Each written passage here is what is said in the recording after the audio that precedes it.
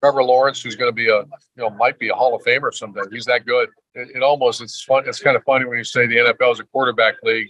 Pop is a quarterback league. So is high No school. question.